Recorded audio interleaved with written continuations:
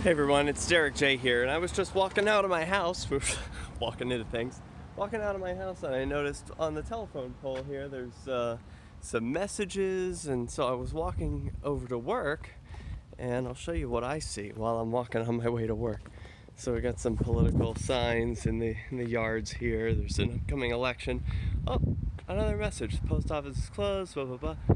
Okay, you know I didn't really read the full thing and I noticed there's another one on the other side.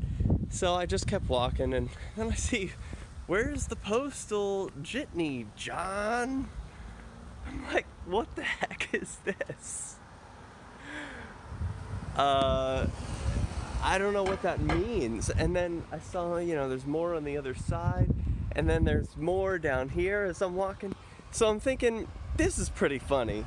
I know people have been complaining in the unofficial Portsmouth uh, Facebook page about these messages appearing and they don't really like it.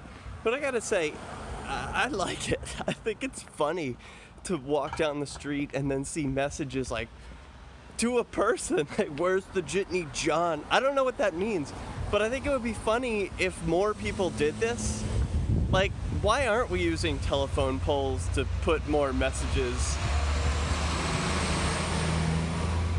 why aren't we using telephone poles to, to write messages to our neighbors more often? It's kind of funny, it's kind of fun, uh, it's like personal. You don't always know what it means. It's like uh, this is public space where you can have these messages, and um, I don't know.